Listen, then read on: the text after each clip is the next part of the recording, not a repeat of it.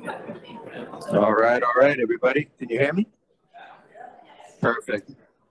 Well, thank you all for coming out tonight. Um, I'm Lou Parati. I'm the uh, president of the board of directors for the Rhode Island Natural History Survey. And on behalf of the entire board and uh, staff of the survey, again, uh, we want to thank you for coming out and uh, we welcome you in uh, celebrating tonight's uh, award recipients.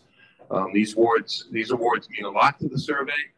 Um, the people who receive them exemplify what the survey stands for. Um, so we're really proud to to give these awards out, and really proud of the folks who have received them, um, past and present. Um, and uh, lastly, we'd love to thank you guys for all the support that you give to the survey throughout the year, through your memberships, uh, attending our events, generous donations. Um, and if you're not a member, uh, we encourage you to join because it's uh, quite a bargain for the buck. Um, a lot of great um, events throughout the year um, that are enjoyable and fun for the whole family. And again, connect people uh, to wildlife and wild places. So without further ado, let's get the program going. I'm going to introduce Keith Killingbeck. Uh, he's going to come up and MC our program this evening. And again, welcome and thank you for joining us tonight.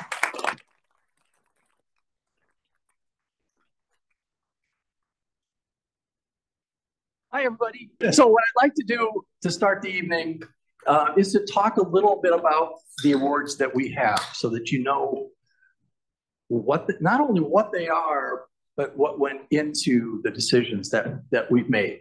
So, um, and I'll go through the four awards. So the first one that I'll talk about is the Exceptional Service Award. And this is the most recent award that the Rhode Island Natural History Survey has come up with. And the award acknowledges persons or organizations that have made exceptional contributions of one of many things time, money, expertise to the survey. And this award, again, is relatively recent, 2020. So we have three recipients Sharp family, Joyce Valentine, Kenny, and last year, Helen Lucy. The Golden Eye Award. And this award recognizes a person for making one or more particularly notable discoveries, natural history observations in a given year. And this was begun in 2008. So we have 10 recipients so far for this award. And I should point out none of these awards are necessarily annual. We don't have the survey does not have to present any one of these in any given year. It turns out that we have so many talented naturalists that it never seems to be a problem. so the Distinguished Naturalist Award. And, and I'll just say there, there are two types. There's posthumous and then living, and I'll talk about that in a second. But there are three criteria that we use, that we being the Natural History Survey, use to select recipients. Persons who've made significant contributions in the advancement of the scientific knowledge of Rhode Island's organisms, geology, ecosystems, and or the person is recognized as an outstanding educator to students and the public on Rhode Island's biota and natural systems, and or made significant contributions in enhancing public awareness of the importance of Rhode Island's biota and natural systems. And again, the and or is really important. And it turns out, at least as I, as I look back on the uh, awardees from the past, so many of them have checked the box on all three of these criteria. It, it's, it's really quite amazing. In 2000, we began the posthumous award for Distinguished Naturalist. And these are the 19 recipients to date. And we're going to add one tonight. And then the original Distinguished Naturalist Award, which was begun in 1995, and we have 28 recipients already. And if you, I'm not going to read all these, but if you look quickly at that list, there are amazing recipients. It's a, an incredibly talented group. Two of these folks we lost this year. And uh, I, I see heads shaking. So um, Hugh Willoughby, who was the 2003 Distinguished Naturalist, and more recently, 2017, it was Fran Underwood. Underwood. Hugh was 91 and was still playing table tennis. Marty, that's for you. and and I, I, I just learned from Don Heitzman earlier tonight that Hugh's table tennis table has now been transported to the Caratunk Audubon Refuge. So if you ever have the need to either see see his memorabilia in terms of, in, in the form of a table tennis table or play some table tennis, that's where it is. Uh, Hugh gave the most hilarious acceptance speech ever of all of our recipients for the Distinguished Naturalist Award. I, I wish we had a recording of it. It was it was amazing. And you know, I'm looking at, at Fran here and just look at that smile. What a what a sweet person. And both of them were just incredible naturalists. We were so lucky in in this small state to have so many talented people. Now, the first award this evening, oh, who's shaking their head? The first award this evening is the Golden Eye Award. And for the Golden Eye Award, we need an eye doctor, right? Yeah. And so it's Dr. David Gregg. And you'll notice, I, I don't know if you can see this or not, um, this, this eye chart uh, doesn't show up. That eye chart is pretty funky. I'm not sure what that shows. But the other thing is that there somebody sent him a little birthday card there because it seems to me two days ago was your birthday. So happy birthday.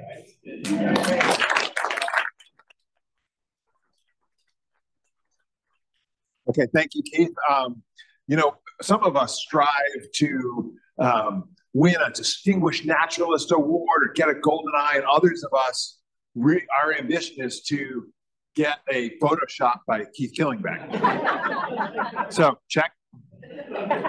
Um, yeah, so I am going to present the Golden Eye, and um, you know, you, you, think, well, maybe we should BioBlitz Mordor, right?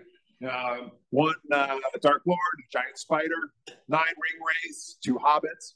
Um, but we're talking about a different kind of eye. We're talking about um, a naturalist who finds something interesting, curious, amazing, unique uh, out there, and doesn't just say, eh, it's, it's interesting, and then keep it to themselves. The whole process is very much what we want to have everybody do um, in the National History Survey and, and in the whole community. So, first of all, you have to see the thing and recognize that it's not the same as all the other things. You need a level of curiosity, a level of acuity to see something and see difference. And you have to persevere because it's highly likely you will have a struggle to identify whatever it is. You need taxonomic knowledge. You gotta, even if you don't know it, you gotta find the right person to figure out what it is.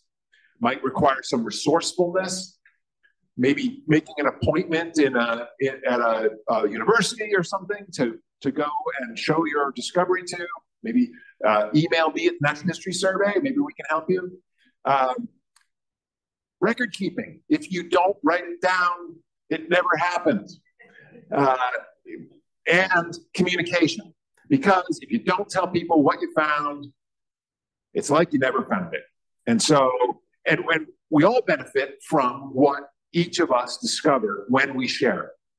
And that's kind of one of the ideas of the Natural History Survey is a, a venue and opportunity to create those connections. So, um, these are the, the steps for good natural history and some of the recipients over the years.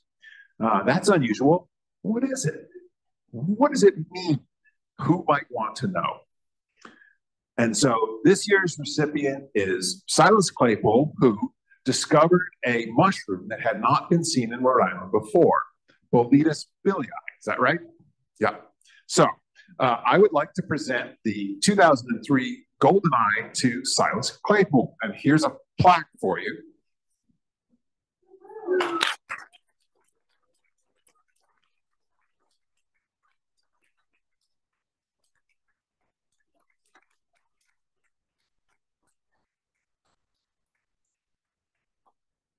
And we have something else for you too. Here is a copy of the Mycota of Rhode Island by Roger Goos, published by the Natural History Survey, and it has a bolete stamped on the cover.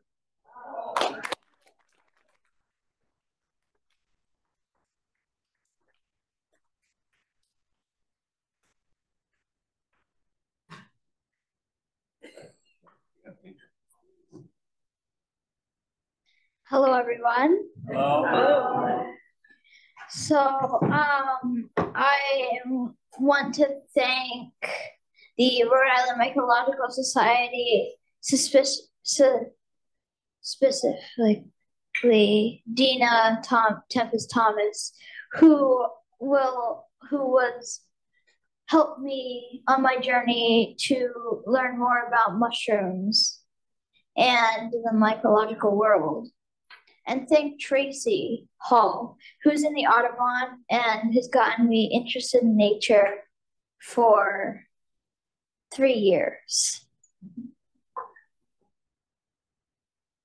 All right.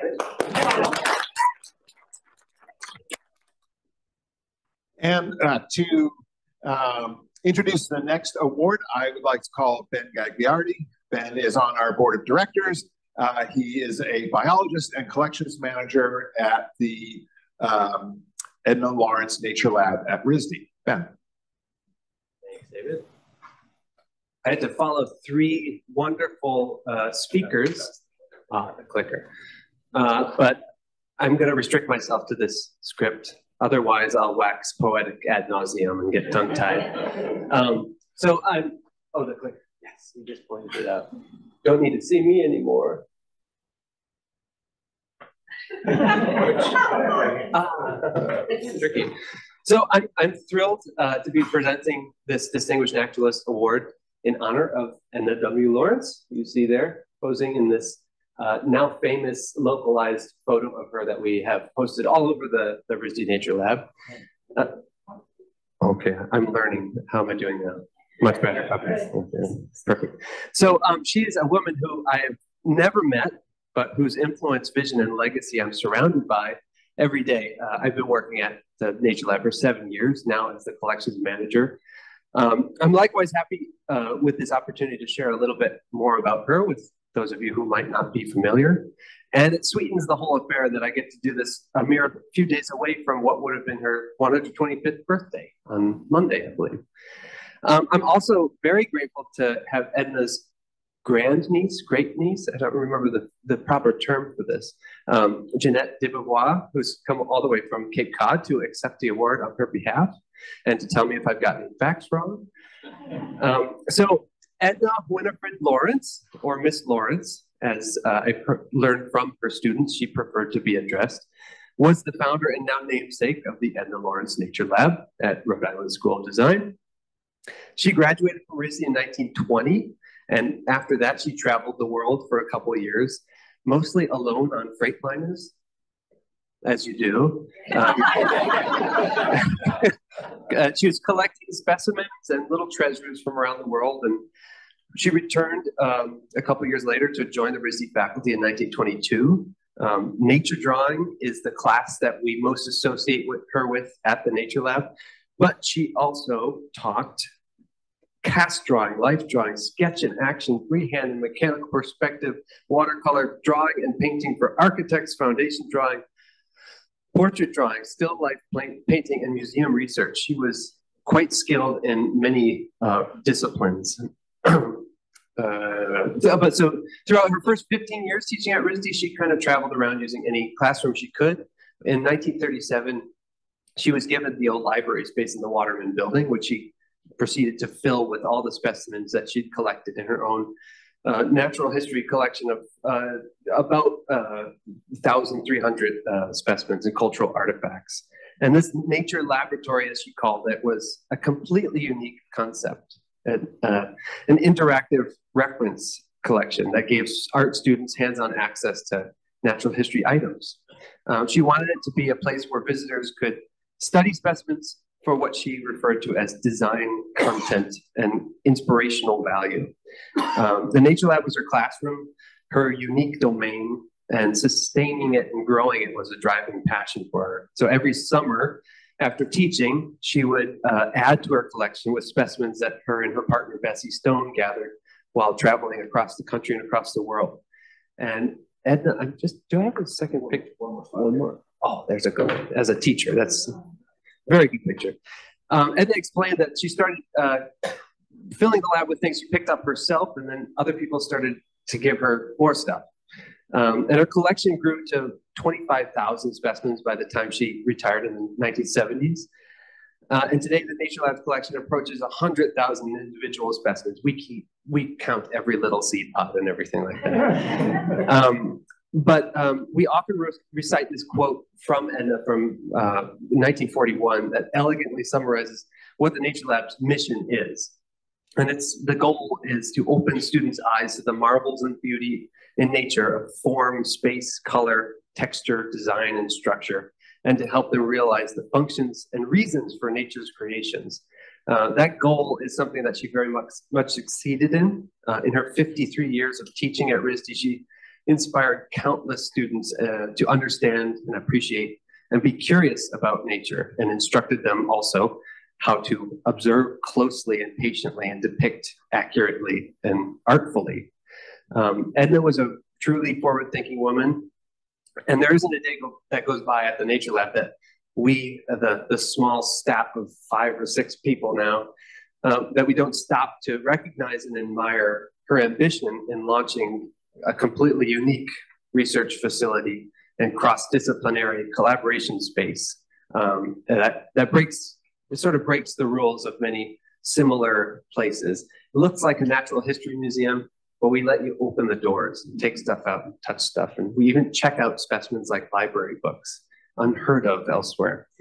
Um, so Miss Lawrence may not have a background in biology or life sciences, though she was a member of the Audubon Society and Rhode Island field naturalist, but as a keen-eyed artist, a specimen collector and preparator, uh, and a, most importantly, a tireless and, impactful uh, instructor who worked far outside the box, she has had a major impact on generations of students who attended RISD and then went off to the art and design world with a deeper appreciation and understanding of the natural one.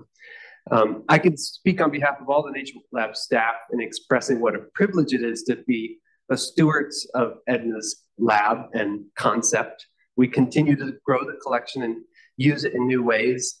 Uh, we've expanded our resources to include a state-of-the-art microscopy lab with NSF-funded equipment and a biodesign makerspace as well. I, I hope that it, Edna's somewhere thinking, wow, that's, I can't believe how far it's gone. Um, I do sometimes stop and wonder what she would think of her legendary status at the Nature Lab, uh, this place that she founded. How would she feel if she knew that some iteration of her name is the password to many of our computers at work? and that photos of her serve as the profile image on Flickr and iNaturalist accounts. I'm sure she'd have pretty mixed feelings. Um, I, and just one last little tidbit. Um, I'm so I'm trained in entomology and always striving to be a, improve as a naturalist, a lifelong goal shared by many people in this room. However, I think it's crucially important to, uh, that we remember we all enjoy different access and ability to experience nature. Um, what might be mundane for some can be exceptional for others. So just a quick sort of thought experiment. Um, in your mind, imagine you're holding a fir tree pine cone.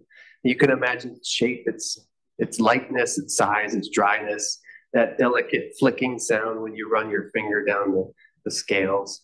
Now um, imagine a whelk shell. You could feel the heft of it in your hands. You could sense where its center of gravity is, feel that smooth interior surface, the knobs and spires of the spiraling apex and the deep fluted siphon canal at the opposite end. How poetic. Um, for most of us, the, these two things, they're common, especially in Rhode Island. Um, and we've probably spent time handling these out of our own curiosity. Uh, we have tactile memories of the sensations of observing these things with our fingers.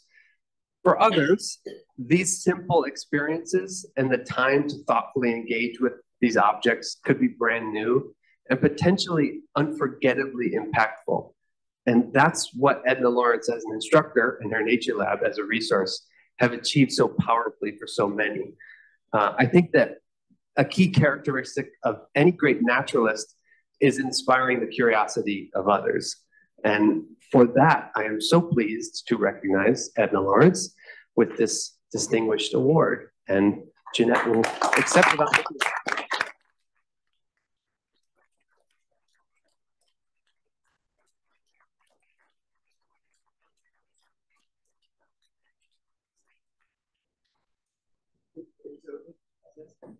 We'd love to hear from you. It's a very big award, a very big award. I am neither an artist nor a naturalist, um, but it's really an honor to be here. I did not think of her as either of those things for a very long time. She was just Aunt Edna and Aunt Bessie. They were kind of this this grouping of two people that um, I grew up really being inspired by in a couple of ways. Aunt Edna taught me to look in the heart of things, um, whether it was part of a seashell that she was sketching or a woman walking down a, a road in a Caribbean island.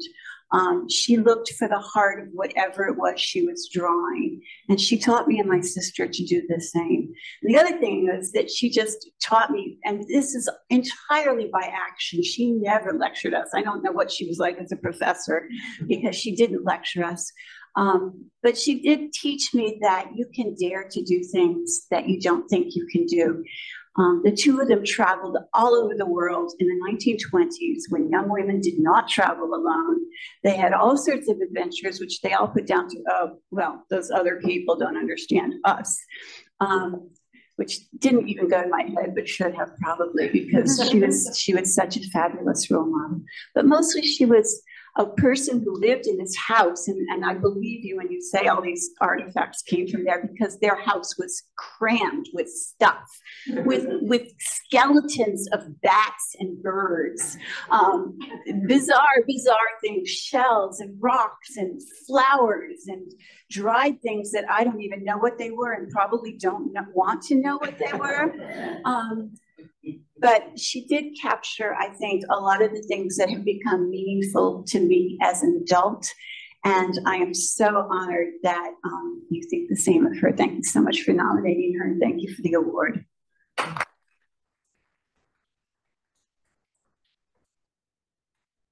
And now I get another privilege to hand over the microphone to Kira Stillwell.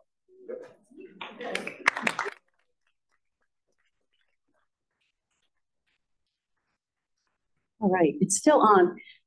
I was going to go behind the podium, but I'm a little too short. So I'm going to hang out here with Pete August. He's always good company. It's okay. It's not my favorite board, but that's okay. I am a circle. Um, so thank you, everyone, for being here. Um, thank you for the opportunity to talk about one of my favorite people in the survey sphere. Uh, eat the mic. I learned that earlier today in another lecture.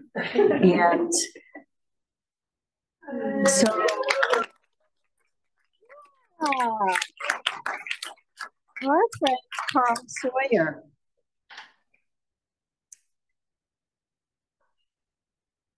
First, thank you to all the Carl fans who are here. You know who you are. Acknowledging Carl's earnest actions here this evening brings honor to the intent of the survey's Founders Award for Exceptional Service. Carl has been a member of the survey since our founding in 1994. Don't do the math. Yes, it's almost 30 years, six months. During this time, he's also been a consistent donor, responding to appeals and other asks for financial support, and an incredibly active, engaged member and stalwart supporter. I'm going to share with you my experience of Carl over the 19 years that I have been with the survey and have known him. Anyone who has attended a few survey events will have seen Carl. Annual meetings, lectures, conferences, award celebrations, like we're here for tonight. And of course, bio blitzes. If you've met Carl, or are one of many who call him a friend, you will have experienced his warmth and congeniality. Since our office moved to East Farm in 2015, we never know when Carl will wander in for a brief visit. Lucky us. It's always the high point of my day. He consistently takes the time to deliver his membership renewals, event registrations, etc., in person. And while he's visiting, before he leaves, he never fails to ask if there's anything that we need help with.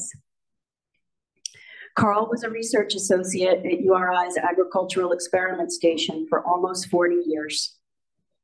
Early on, he was a colleague of botanist and Distinguished Naturalist Award winner, Dr. Irene Stuckey.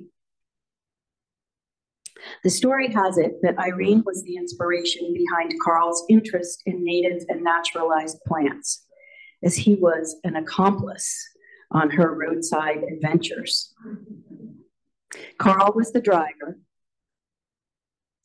and Dr. Stuckey the eyes off to the side of the road, identifying plants.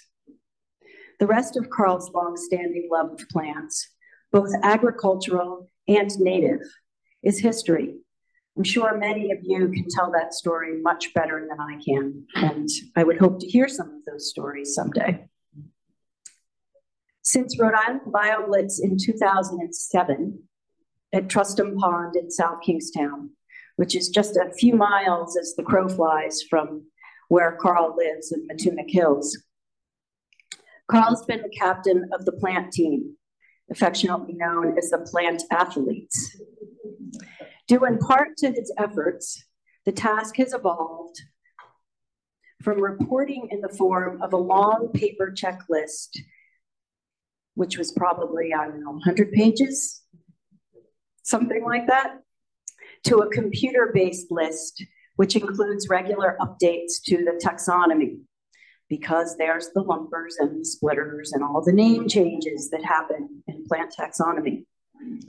Carl spends time readying materials in advance of each year's BioBlitz, engaging with team members before they arrive, strategizing inventory coverage for all areas and habitats on each of the parcels, and when possible, conducts pre-event scouting. After the fact, he does QA and QC work on the vascular plant reporting list to ensure that it's accurate and complete. Now, for those of you who aren't familiar with the vascular plants at BioBlitz, the average number of species is 322. So wrestling the list is no small feat. Every year since BioBlitz 2014, when we were at Rocky Point, it was back in the old days when our office space was still on the second floor of Ranger Hall. And a lot of our equipment was stored on the third floor or the fourth floor. Carl would come and we would go up the stairs to get the equipment and down the stairs to bring the equipment out to the vehicle and up the stairs to get it and so on and so forth. Carl in his enormous bronze van has reliably provided transportation to and from BioBlitzes for the brunt of survey equipment and supplies since 2014.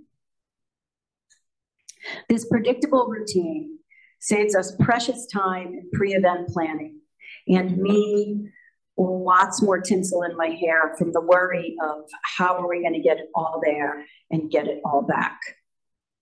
Like a well-oiled machine, Carl arrives on the Thursday afternoon prior to BioBlitz and we load up. Van stuffed to the gills, Carl is one of the first to arrive at the BioBlitz site on Friday morning.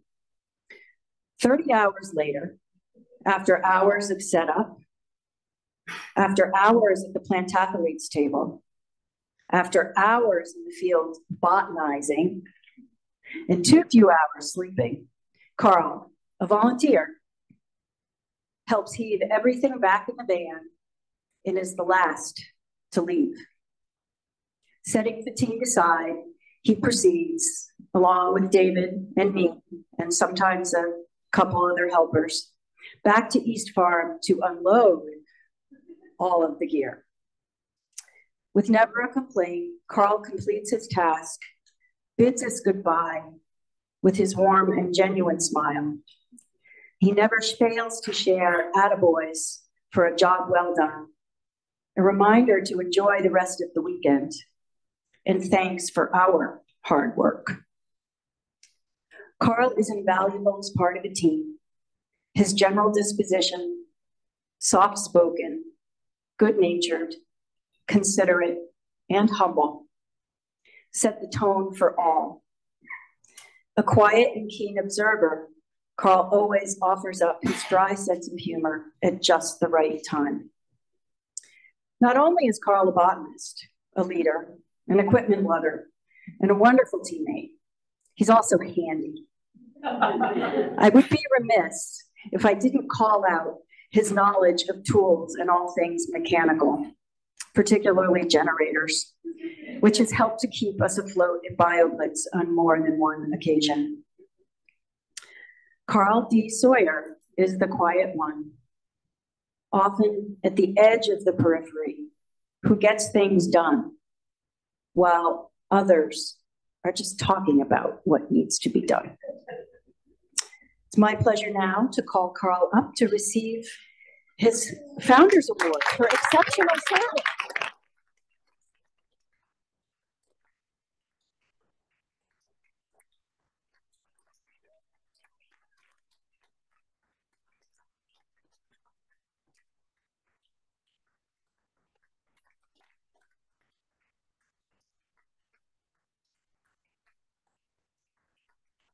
So the, the Founders Award is perpetual plaque. Uh, Carl's uh, name is right here. And this hangs on, on the wall at the survey offices. So congratulations and thank you for everything.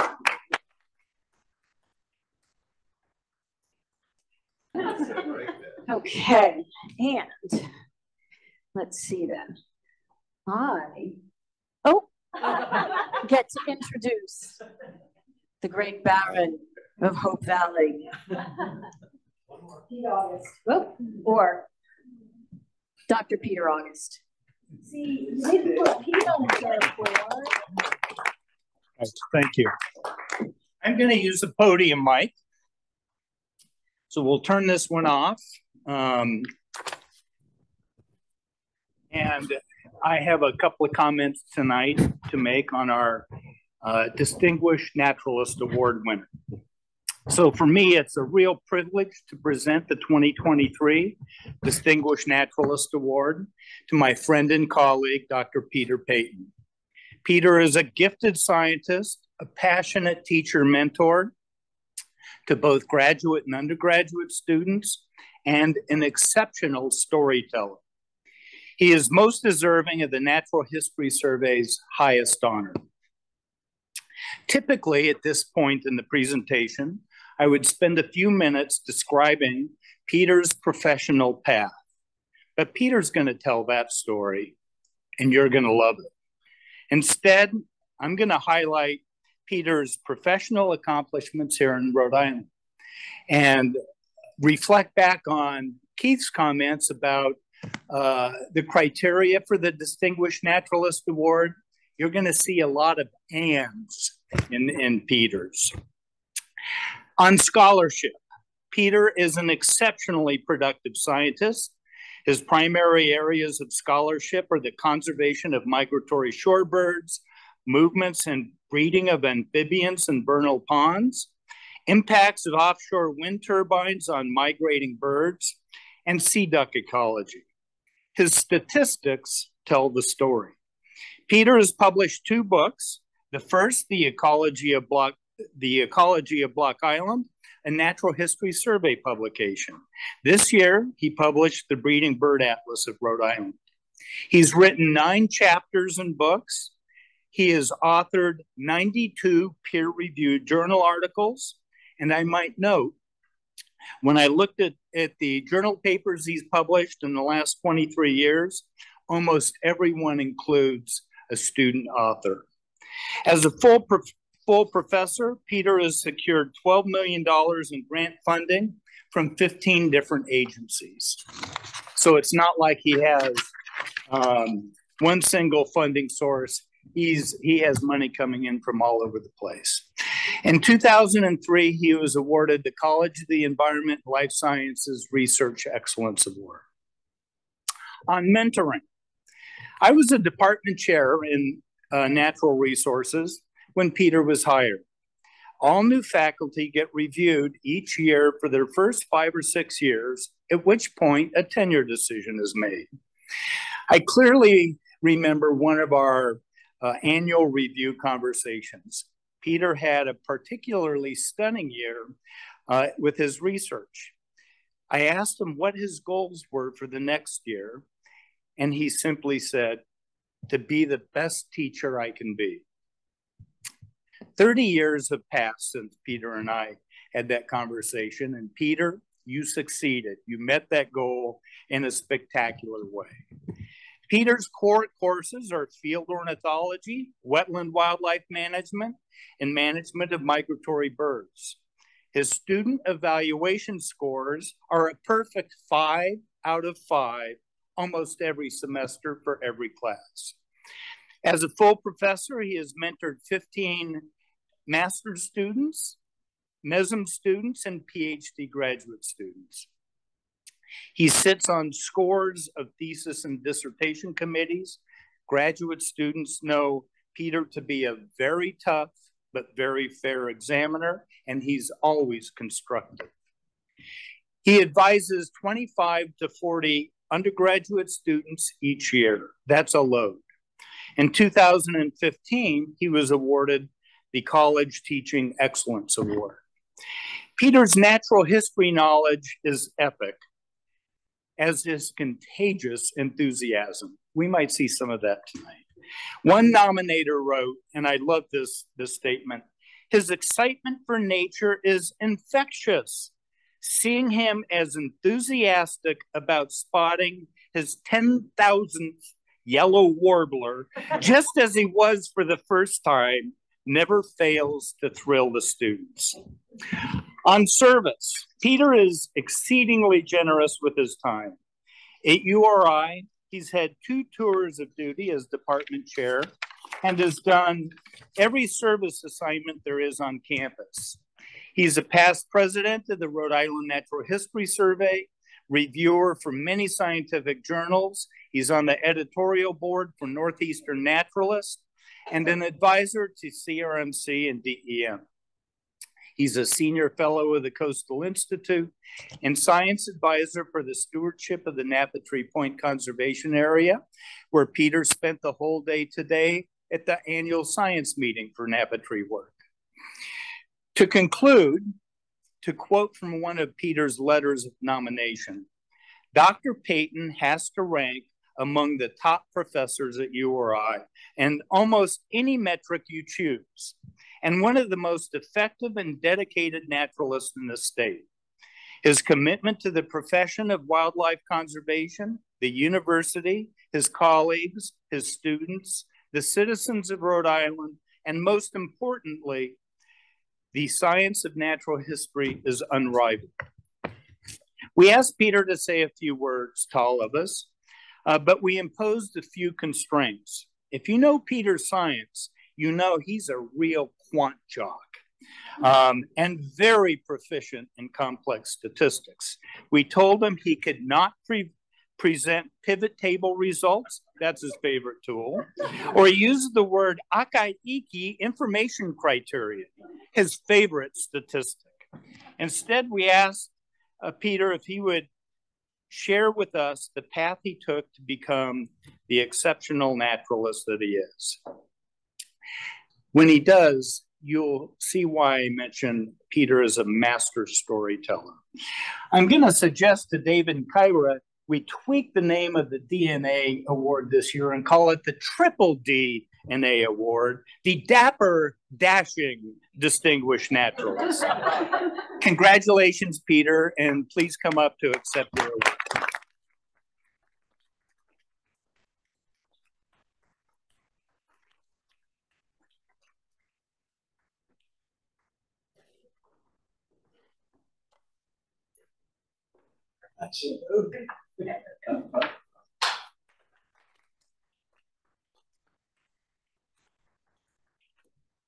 So you can give this to David, or, or do we just keep it right there?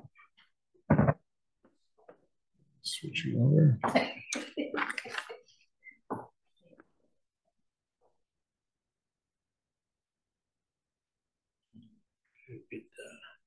Oops. Here's right there.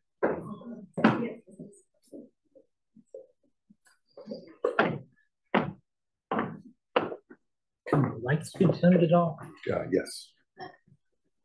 Well, thank you so much for uh, coming tonight. Um, let's use this microphone.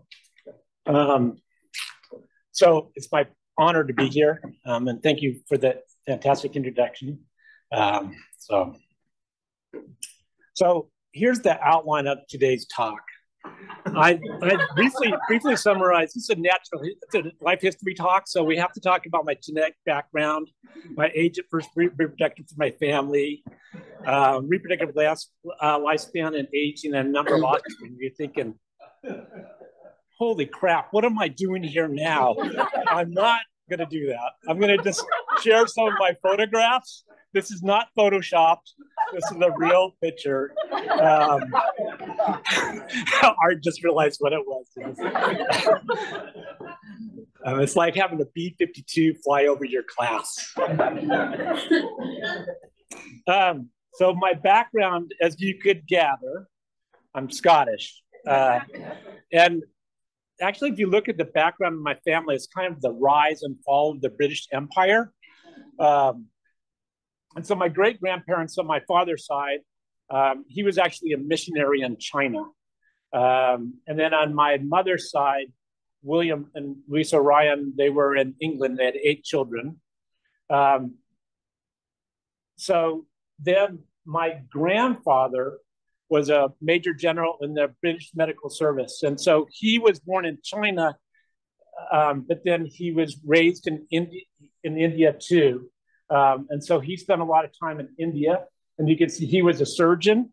Um, and then my grandfather on my mother's side was a real, real admiral and, served in the Pacific.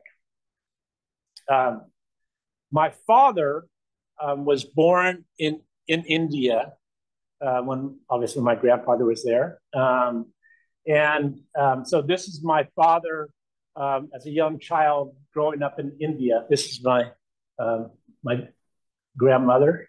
Um, and then um, this is my father. Um, I'm Peter William Calder Paton. So my father is Bruce Calder Paton.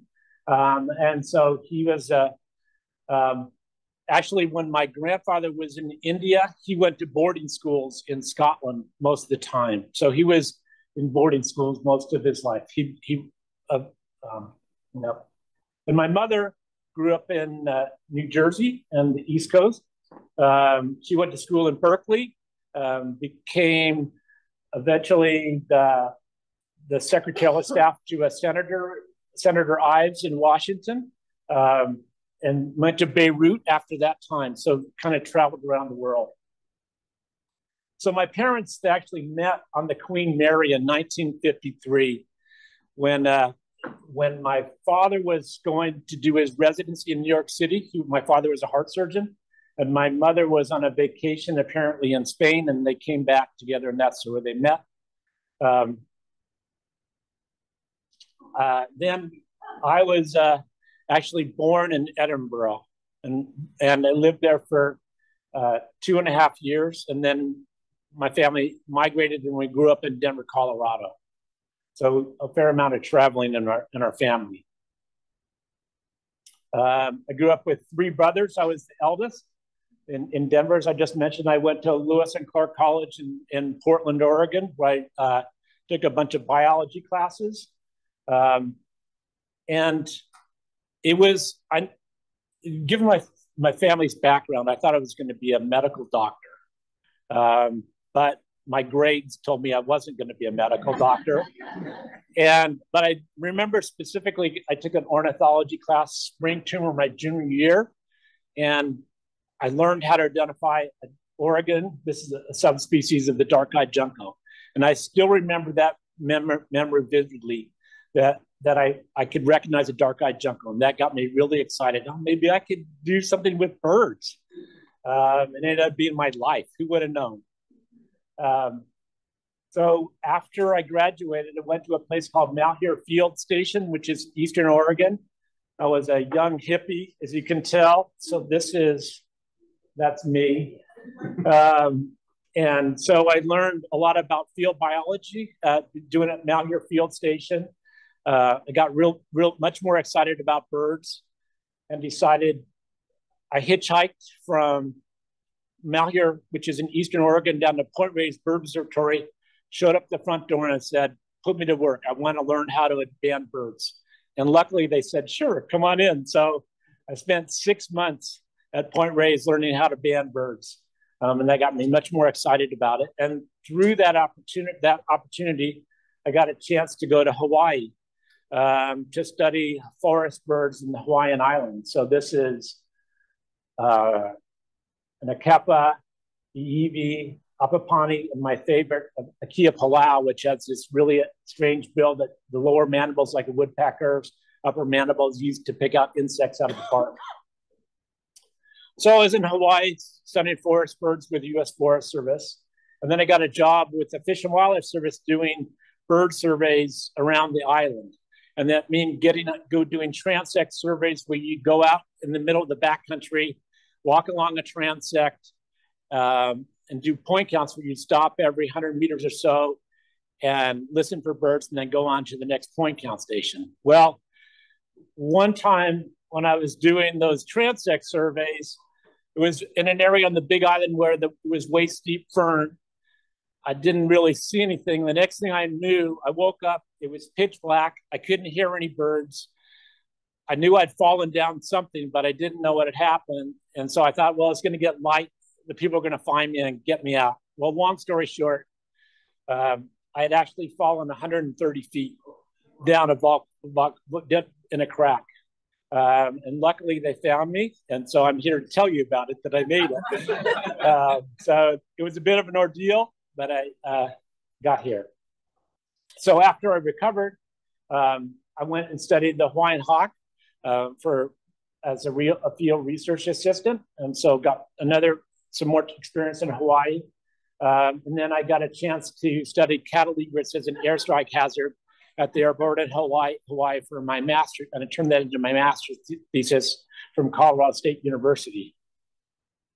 After I got my master's thesis, I went to Northern California and got looked at the effects of logging on wildlife populations and specifically spotted owls and marbled murrelets. So again, working with the Forest Service. Um, I did that for about four years. Um, so I got a lot of practical experience and decided I need to go back for my PhD. So I went from a, the old growth forest of the Pacific Northwest to the Great Salt Lake where there's no vegetation, where I studied the snowy plover for my PhD. Um, and, and, that's where I met my wife. Uh, and so we got married in Oregon, and she knew she got stuck with the birder because partway through the ceremony, there was a dipper singing in the background. And so I stopped the ceremony. I said, Did you hear that dipper singing in the background? And the minister was like, What are you talking about? What's the problem? It's, it's just a bird.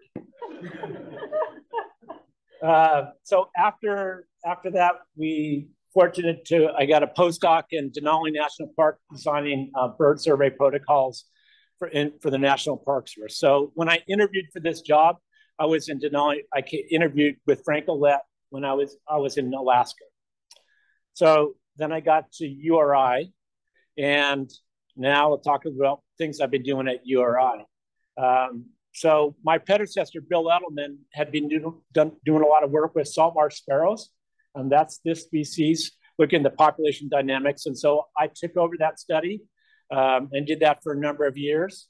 Um, at the same time, I had a lot of interest in wading birds too. Um, so Carol Trocki would, uh, took on a master's with me looking at wading bird foraging ecology um, in, in marshes around Rhode Island.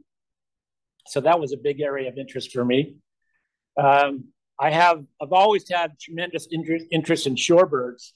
Um, and there, at Monomoy National Wildlife Refuge, there's a lot of interest in impacts of shellfishing, disturbance from shellfishing on shorebird populations. And so Steph Koch, who's a biologist with the Fish and Wildlife Service, uh, got a PhD with me um, looking at shorebird populations at Monomoy National Wildlife Refuge. And I should say that it's obvious a lot of these pictures, one of my passions is taking photographs, and I always like it, the chance to share them with people. Um, so these are some of the ones. What I really like is uh, in the upper right hand corner is a semi palmated sandpiper. And I like it when you can just be really patient, have the bird just act naturally. And so it's to me, it's special just have a bird training when you're really next to it. So that's always exciting to me. Um, during this time period, too, there's the Kingston Wildlife Research Station, which is one of the longest running bird banding stations in North America.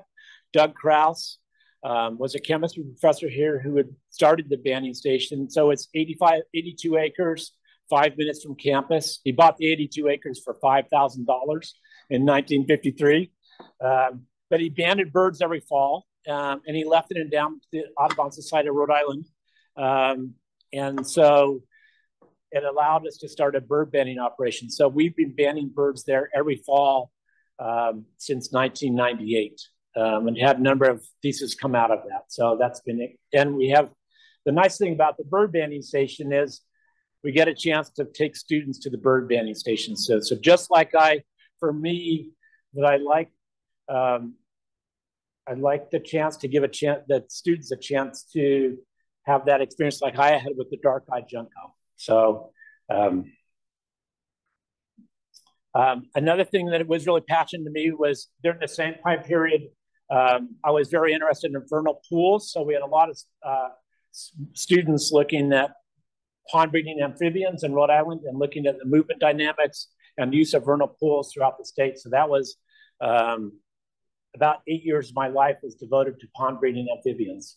Um, and again, it's a very special experience for the, to get take students out in the field. a lot of people have never walked around a vernal pool, and so I've always get really excited to give people a chance to to see um, what life you can find in vernal pools and and the looks on people's faces when they really get a chance to hold a, a frog for the first time or a snake for the first time. Um, it's always really exciting. Uh, also during this same time period, as Pete mentioned, we got there's a lot of interest. We didn't have the Block Island Wind Farm yet. There was something called the Ocean SAMP, and so we wanted to design um, survey methods to figure out where the wind farm should go. Um, so we did some of the first offshore wind surveys in in Rhode Island, um, and that eventually led to the development of the Block Island Wind Farm.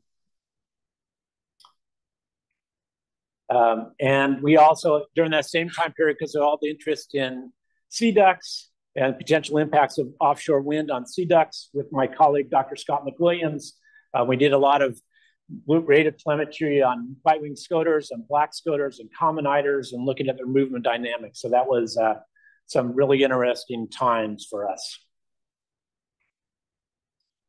Um, then also during this you know, I, I mentioned that I'd done my dissertation research on, on snowy plovers of the Great Salt Lake. Um, when I got here, I really wanted to study piping plover, which is a threatened species that nests on the beaches in Rhode Island. Um, but they weren't they wouldn't allow me to capture them and ban them when I first got here. Um, and then with Pam Moore and I, we got permission to put transmitters on birds to look at their movements in the offshore environment, to look at the potential impacts of offshore wind on piping plovers. And so it's my chance to really get back in the piping plover in the plover world. And so we we banded them and really learned a lot about their movement dynamics. And that again was another special opportunity to work with a lot of great biologists. And if you're a plover biologist, you very often you never really get a chance to hold a bird in the hand. And so it's always a special experience for a lot of these biologists for the first time to actually hold a piping plover um, and get excited about piping plover. So that was uh, always a great experience for me. Um, and then one of the last projects I worked on with Dr. Charles Clarkson, it was for about eight years or five years of collecting data with a bunch of volunteers. And maybe some of you in the audience helped collect those data. It ended up being the, the breeding bird atlas for the state of Rhode Island. So that was uh, a lot of fun to work on. So uh, one of my passions really um, for about the last 11 years is um, working with terns on Great Gull Island. So if you don't know where Great Gull Island is, uh, it's about eight miles off of New London, Connecticut, it, just west of Fisher's Island. Um, it's about 17 acres. It has about 10,000, excuse me, 11,000 pairs of common terns and 2,000 pairs of roseate terns, which is a federally endangered species. So it's one of the largest tern colonies in, in uh, the Atlantic coast. Um, it's a very special place to work. Um, and if you've never had a chance to go and be in a tern colony, this picture I took at Monomoy National Wildlife Refuge is pretty spectacular to see the birds.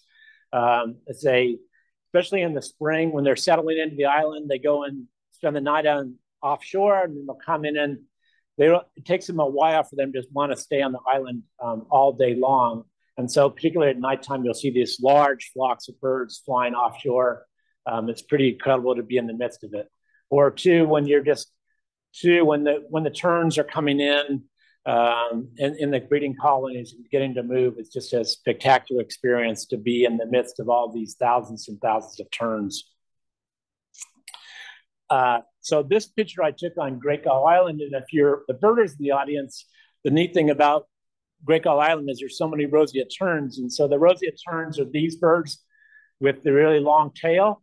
Um, there's only about 6,000, right now there's only about 6,000 pairs of roseate terns in the Northwest Atlantic and um, over 2,000 of them nest on Great Gull Island. So there's only three places in the Northwest where great uh, roseate terns nest in large colonies. Um, so it's always a special experience to be able to work out there.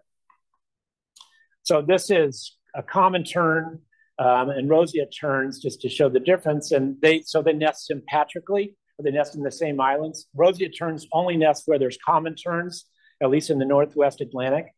Um, and the reason for that is the common terns tend to be very aggressive. So when a predator comes in, um, they're very good at chasing off predators, and they're also very aggressive towards other common terns and roseate terns too. So they're the defenders of the colony. Uh, and then the common terns, they nest in relatively open habitats is where they typically nest. Um, so this is a brood of common tern chicks. And the roseate terns, they nest in underneath rocks in very hidden things, so get away from predators for the most part. Uh, um, and so we can take advantage of that where we can build nest boxes for the roseate terns to increase the amount of nesting habitat available for the roseate terns. Um, and so and we've built hundreds and hundreds of, of, nest boxes to increase the population on Great Island, and we've increased the population there by over 25% by just building a bunch of nest boxes. Um, and then we end up with these are young roseate tern chicks that were banned, and we can keep track of their populations by color banding them too. Um, and this just shows So another thing we do all the time is bring out students from URI to help with these efforts to increase the nesting habitat. And then you end up with all these nest boxes and put out, and it's always good to put out the nest boxes in the next year, see all these roseate tern chicks produced from these nest boxes. So that's always a fun experience. So I just want to say that, you know, the in all of this, as Pete mentioned, the most exciting thing in my career is having the chance to work with all the students um, at URI and get them excited. They are excited about wildlife and get them more excited about, give them the chance to hold wildlife and, and see the look in their eyes when they really get a chance to hold a wood duck for the first time or go out on a freezing January day and go look for a snow goose in the middle of the Canada goose flock. Um, or maybe just go to Sachuest Point National Wildlife Refuge and maybe see a snowy owl if you're lucky. And so that's ho hopefully a, a, memory that will keep in everybody's lifetime for their lifetime. So uh, I'm remiss if I wouldn't uh, thank my family too. I, I want to apologize to my family. When I, so when I started out as an assistant professor, we didn't have much money. Um, so we didn't have any toys. So all we could do is catch birds and bring them home for the for the kids to play with. So if they were lucky, they would get to catch an bird or a saw-whet owl, and that was it. Um, and I do want to thank my lovely family for everything and, and everything they've gone through with me. And every uh, it's been spectacular um, growing up in Rhode Island and with my great family. So I'm so proud of everything that they, my daughters have accomplished and everything my wife has accomplished too. So, um, so I don't know what my career is going to take me from now. This is a picture of the sunset of my career. I do, I definitely want to say that a, a huge thank to all of my colleagues over the year, all the graduate students that I've worked with, all the undergraduate students that I've worked with. It's just been a complete honor and privilege to work with all of you. Um, it's been spectacular. And I don't know if I'm distinguished, but um, I do want to thank you very much. The Rhode Island Natural History Survey presents videos to showcase the animals, plants, geology, and natural systems that surround us, and the people and organizations working to understand and conserve them.